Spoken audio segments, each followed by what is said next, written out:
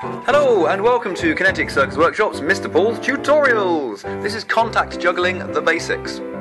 Now before we start with the tutorial I'm going to introduce you to, oh hello there, I'm going to introduce you to the different kinds of contact ball. This is a stage ball, it is squishy and lightweight. This is an acrylic, it is heavy and difficult to use. When you're starting off, use the lightweight squishy ones because when you drop them, they're going to bounce. If you drop an acrylic, they will bounce, but they will also get scuffed and chipped and look horrid. So always practice with a stage ball. Now I've been doing this for a bit, so I'm going to use an acrylic one, also they look cooler. Now let's talk about the different kinds of grip. This is the first kind of grip you're going to use, it's opening the first finger on your control hand, or dropping the centre finger down. Most people favour one of these two grips. I would recommend trying both of them out to see which one is more comfortable for you. This is the one finger grip, I'm going to show you this from all sides so you understand where it sits. And this is the dropping the middle finger grip. You can see it makes like a little cradle in the middle of your hand. Ultimately our hand's going to be a bit flatter, but have a go at both of these first. Now from the back of our hand we're going to throw the contact ball up to the side, pivot from our elbow and catch the ball flat on the back of our hand and repeat. So we're going to go up and catch on the flat and back onto the back of our hand.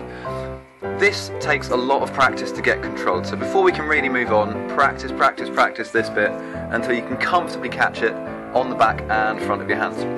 Eventually what's going to happen is as we do the throw, we're going to keep our hand underneath the ball, so if I show you in Matrix Vision here, it will roll in between the gap in your fingers. And we give a little push up at the very top of the throw, and the ball will begin, with practice, to roll across your hand take this very slowly, take baby steps. It does take a long time to get the hang of the wave.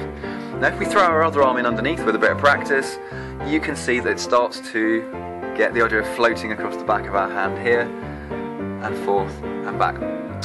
Of course, just to be annoying, you do have to learn your other hand as well. So whichever one you start in, learn it with the opposite hand afterwards. Contact juggling is very much about using both sides of your body and both hands left hand, right handedness. Uh, before we can move on to the trick we're about to hear, which is the butterfly, I would thoroughly recommend you get the hang of the wave in both hands. The butterfly rolls across one hand, off the back of the other, we collect it, and then open our hand out to the other side. Effectively, you're doing a wave in both hands. We're going to wave in, transfer, wave out, wave in, transfer, wave out. And you can see when you repeat the move here, you get the butterfly, which does this lovely floaty circle thing in the middle.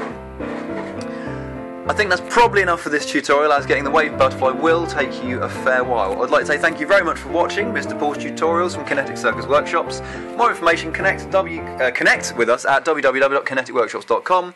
Subscribe to the YouTube channel for more news and updates. Thank you very much and cheerio!